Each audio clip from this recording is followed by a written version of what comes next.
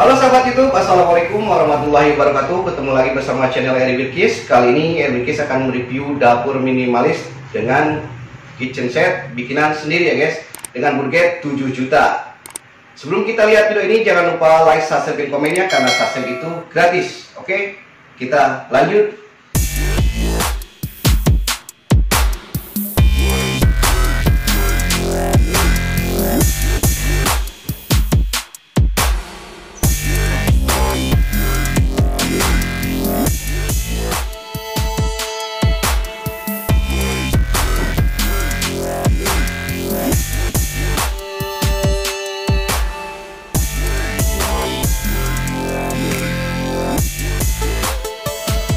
Dapur ini guys luasnya 240 kali 240. Lebih jelasnya kita tanya ke pemiliknya. Nah ini guys pemilik rumahnya Pak Yato namanya Duwur tinggi men nih. Pak saya mau tanya nih Iya Pak. tentang dapur ini kitchen set ini budget berapa terus alasannya bapak pilih kitchen set ini gimana bisa jelasin Iya.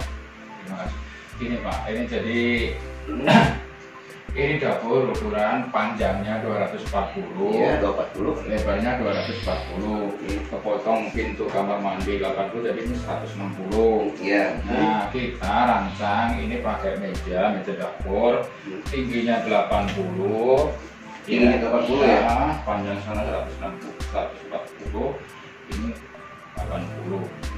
Sini 80 ini 100 40. 40. Kepotong ini tinggi ini 110. Ini dikhususkan buat tempat kulkas. Nah, ini Kenapa? Kenapa kulkas ini saya masukkan ke sini? Ini supaya terlihat, terlihat rapi.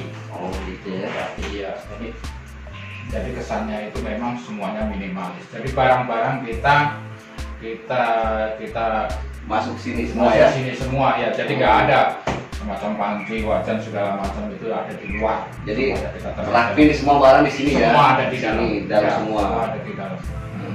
Nah ini penyedot ini tebu ya apa asap ya? Ya, ini fungsinya nanti kan kalau ini karena dapur ini memang kecil, Iya. jadi kalau masak itu kan pasti banyak asap. Hmm. Untuk me- mengantisipasi supaya kita nggak ngap, nggak, Ya. ini makanya kita berikan Oke. eh, ya exhaust untuk menyedot asap.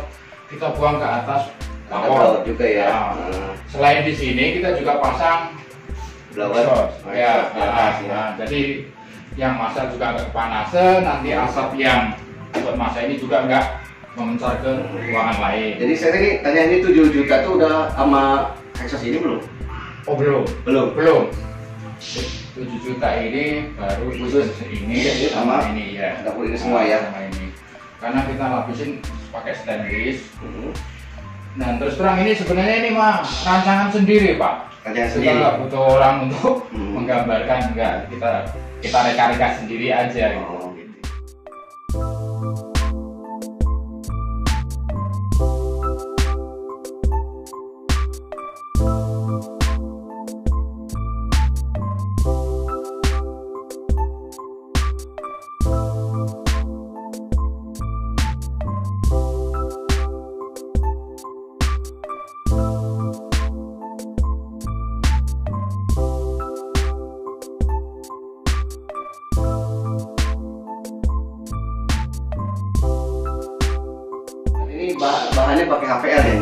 Pakai triplek yang kalau yang pintu itu 15 mili kita lapisin pakai HPL. HPL-nya ini jenisnya jenis stone. Jenis ya? motifnya motif batu. Nah, kalau yang untuk ininya nanti kita pakai granit warna warna hitam. Ini pakai granit ya? Iya, granit warna hitam. Ini granit warna hitam guys.